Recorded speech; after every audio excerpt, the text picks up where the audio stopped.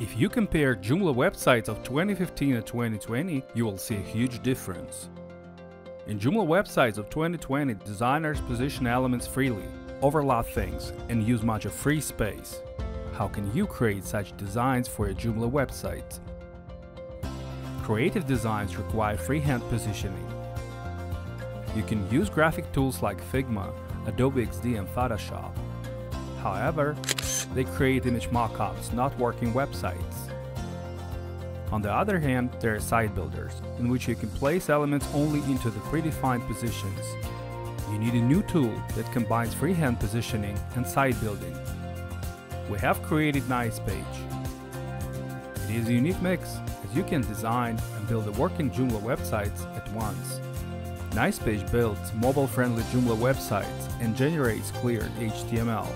It comes with a collection of over 4,000 Joomla templates of blocks and pages of 2020. With Nicepage, you save time and money. Go to nicepage.com and download the application for Windows or Mac OS. Click on the file to install Nicepage. Nicepage is the Joomla site builder that everyone can handle. Visit nicepage.com.